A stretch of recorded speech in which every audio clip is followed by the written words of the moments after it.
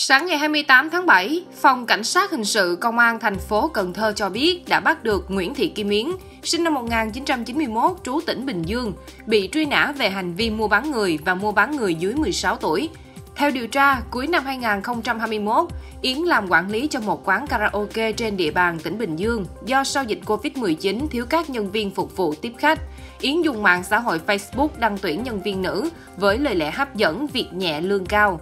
Cuối tháng 2 năm 2022, một số đối tượng đã đưa ba nạn nhân nữ, trong đó có một người dưới 16 tuổi đến bán cho Yến. Sau đó, thông qua sự giới thiệu của Nguyễn Hoàng Phong, Yến bán lại ba nạn nhân cho Lê Thị Bích Phượng, đang làm quản lý quán karaoke Thu Ngân 2 ở huyện Cờ Đỏ, thành phố Cần Thơ, về làm tiếp viên phục vụ khách bấm bài hát. Cơ quan cảnh sát điều tra công an thành phố Cần Thơ đã khởi tố vụ án, khởi tố các bị can, gồm Lê Thị Bích Phượng, Nguyễn Hoàng Phong và Hoàng Văn Độ về các tội danh mua bán người và mua bán người dưới 16 tuổi. Tuy nhiên, đối tượng Yến đã bỏ trốn khỏi địa phương. Đến sáng ngày 27 tháng 7, Phòng Cảnh sát Hình sự Công an thành phố Cần Thơ phối hợp đồn biên phòng cửa khẩu quốc tế Mộc Bài, tỉnh Tây Ninh bắt giữ Yến khi đang chuẩn bị xuất cảnh qua Campuchia.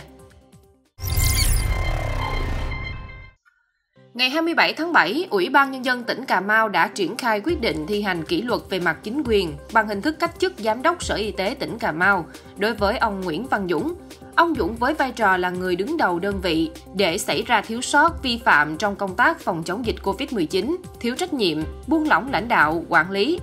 Trước đó, tháng 7 năm 2022, Cơ quan Cảnh sát điều tra Công an tỉnh Cà Mau đã khởi tố bị can, bắt tạm giam ông Đặng Hải Đăng, Giám đốc Trung tâm Kiểm soát Bệnh tật CDC Cà Mau, Hồ Quang Nhu, Phó trưởng phòng kế hoạch nghiệp vụ CDC Cà Mau và Lê Ngọc Định, trưởng phòng kế hoạch tài chính Sở Y tế tỉnh Cà Mau. Cả ba bị khởi tố về hành vi vi phạm quy định về đấu thầu gây hậu quả nghiêm trọng. Hiện ba bị can được tại ngoại.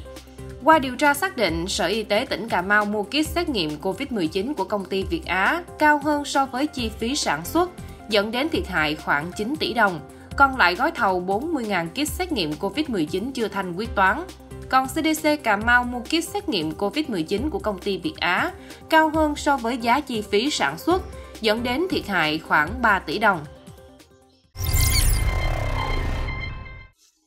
Ngày 27 tháng 7, Tòa án Nhân dân tỉnh Quảng Ninh đã tuyên án các bị cáo trong vụ án thiếu trách nhiệm gây hậu quả nghiêm trọng liên quan tới công ty cổ phần công nghệ Việt Á, gọi tắt công ty Việt Á, theo đó, bị cáo Phạm Văn Thành, cựu Phó Chủ tịch Ủy ban Nhân dân tỉnh Quảng Ninh, cựu Bí thư thị ủy, Chủ tịch Ủy ban Nhân dân thị xã Đông Triều, Quảng Ninh, nhiệm kỳ 2021-2026, bị tuyên phạt 3 năm tù treo, thời gian thử thách 5 năm kể từ ngày tuyên án. Các bị cáo khác trong vụ án là Nguyễn Thị Thanh Hảo, cựu trưởng phòng tài chính kế hoạch thị xã Đông Triều, bị phạt 30 tháng tù treo. Nguyễn Xuân Tiến, cựu giám đốc Trung tâm Y tế thị xã Đông Triều bị phạt 24 tháng tù treo. Nguyễn Thành Định, cựu phó giám đốc Trung tâm Y tế thị xã Đông Triều bị phạt 30 tháng tù treo và Nguyễn Văn Bình, cựu phó trưởng ban dân vận thị ủy Đông Triều, cựu phó chủ tịch Ủy ban nhân dân thị xã Đông Triều bị phạt 24 tháng tù treo. Theo cáo trạng, từ tháng 1 đến tháng 3 năm 2021, công ty Việt Á đã cung cấp một số vật tư y tế cho Trung tâm Y tế thị xã Đông Triều để tổ chức lấy mẫu. Còn kit xét nghiệm và kit tách chiết chuyển đến Bệnh viện Việt Nam Thụy Điển ở thành phố Uông Bí, Quảng Ninh. Sau đó, Phạm Văn Thành và một số cấp dưới đã không thực hiện đúng quy trình nghiệm thu, bỏ qua bước đối chiếu việc giao nhận sinh phẩm xét nghiệm với Bệnh viện Việt Nam Thụy Điển, nên đã thanh toán cho công ty Việt Á vượt 16.539 kit xét nghiệm và 16.548 kit tách chiết, gây thiệt hại hơn 7,2 tỷ đồng ngân sách nhà nước. Ngày 27 tháng 7, Công an thành phố Sông Công, tỉnh Thái Nguyên cho biết vừa phát hiện một nhóm đối tượng có hoạt động buôn bán hàng cấm và sản xuất, chế tạo trái phép đạn của súng hơi. Hiện đã tạm giữ hình sự 3 đối tượng, thu giữ 68,7 kg pháo nổ và hơn 123.000 viên đạn. Các đối tượng bị bắt khẩn cấp và tạm giữ hình sự gồm Nguyễn Mạnh Hải, sinh năm 1997, trú tại xã Tân Hòa, huyện Phú Bình, tỉnh Thái Nguyên. Lê Viết Hảo, sinh năm 2001, trú tại xã Đồng Hưu, huyện Yên Thế, tỉnh Bắc Giang. Đỗ Minh Thảo, sinh năm 1978, trú tại phường Tân Thịnh, thành phố Thái Nguyên.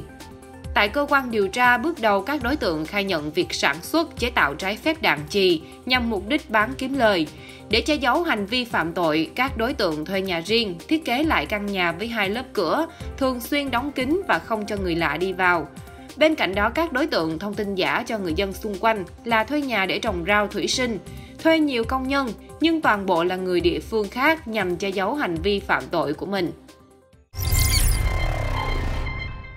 Chiều ngày 27 tháng 7, Công an tỉnh Hà Tĩnh cho biết, cơ quan cảnh sát điều tra Công an Hà Tĩnh vừa ra quyết định khởi tố bị can và lệnh bắt bị can để tạm giam đối với Phan Thế Cường, 29 tuổi, trú xã Lâm Trung Thủy, huyện Đức Thọ, Hà Tĩnh, về hành vi lạm dụng tín nhiệm chiếm đoạt tài sản. Qua điều tra từ tháng 3 năm 2021, Phan Thế Cường được anh N, trú phường Lê Lợi, thành phố Vinh, tỉnh Nghệ An, thuê làm việc tại cửa hàng dịch vụ tài chính 369 tại thị trấn Phố Châu, huyện Hương Sơn, tỉnh Hà Tĩnh. Đến đầu năm 2022, Phan Thế Cường nảy sinh ý định chiếm đoạt tiền của anh N.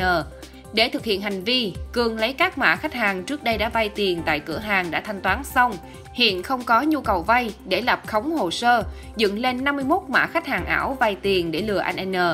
Kết quả điều tra, Cường đã thực hiện hành vi lạm dụng tín nhiệm chiếm đoạt tài sản của anh N với tổng số tiền hơn 1,8 tỷ đồng. Tại cơ quan công an, Phan Thế Cường đã thừa nhận hành vi của mình, đồng thời cho biết số tiền chiếm đoạt được đã sử dụng vào việc tham gia đánh bạc trên mạng và trả nợ hết. Ngày 27 tháng 7, Tòa án Nhân dân tỉnh Đồng Nai tuyên bị cáo Lê Huy Dũng, 35 tuổi, ngụ xã An Phước, huyện Long Thành, 20 năm tù về hai tội cướp tài sản và tàn trữ và sử dụng trái phép vũ khí quân dụng. Theo hồ sơ do thua lỗ trong kinh doanh đồ gỗ, Dũng vay tiền của nhiều người nhưng không có khả năng trả nợ. Để có tiền trả nợ, Dũng nảy sinh ý định đi cướp ngân hàng. Dũng lên mạng xã hội mua một khẩu súng bắn đạn cao su và 6 viên đạn với giá 20 triệu đồng. Ngày 8 tháng 9 năm 2022, Dũng tới khu vực cổng khu công nghiệp Tam Phước, thành phố Biên Hòa, vào phòng giao dịch Tam Phước, chi nhánh thành phố Biên Hòa, thuộc Ngân hàng Thương mại Cổ phần Ngoại thương Việt Nam, uy hiếp nhân viên ngân hàng, cướp đi gần 1 tỷ đồng. Cướp xong, đối tượng tẩu thoát và làm rớt hơn 21 triệu trên đường. Trong quá trình bỏ trốn, Dũng đưa cho vợ 30 triệu, số còn lại trả nợ hết – Đến ngày 10 tháng 9, Dũng bị công an bắt, thu giữ lại được hơn 840 triệu đồng. Ngày 27 tháng 7, Thanh tra Sở Y tế Thành phố Hồ Chí Minh công bố danh sách xử phạt vi phạm hành chính với 11 cá nhân cơ sở trên địa bàn. Cụ thể, xử phạt phòng khám đa khoa Hoàng Cầu, địa chỉ 8082 Châu Văn Liêm, quận 5, 38,7 triệu đồng, Phòng khám đa khoa Nam Việt, địa chỉ 202 Tô Hiến Thành, quận 10, 36 triệu đồng. Phòng khám đa khoa Văn Kiệt, địa chỉ 646 648 Võ Văn Kiệt, quận 5, 12 triệu đồng. Phòng khám thẩm mỹ thuộc công ty trách nhiệm hữu hạn đầu tư y khoa Sài Gòn, địa chỉ 98 Hoàng Trọng Mậu, quận 7, 103 triệu đồng. Tước quyền sử dụng giấy phép hoạt động khám chữa bệnh 3 tháng tước quyền sử dụng chứng chỉ hành nghề của người chịu trách nhiệm chuyên môn 2 tháng và xử phạt phòng khám đa khoa Đại Việt. Địa chỉ 1503, 1505, 1507, 1509, đường 3 tháng 2, quận 11. 4 triệu đồng. Các phòng khám này vi phạm các lỗi như người hành nghề không đăng ký hành nghề khám chữa bệnh, lập sổ khám chữa bệnh nhưng không ghi chép đầy đủ theo quy định, quảng cáo mà không được cơ quan nhà nước có thẩm quyền xác nhận nội dung trước khi thực hiện quảng cáo, niêm yết không đầy đủ giá dịch vụ,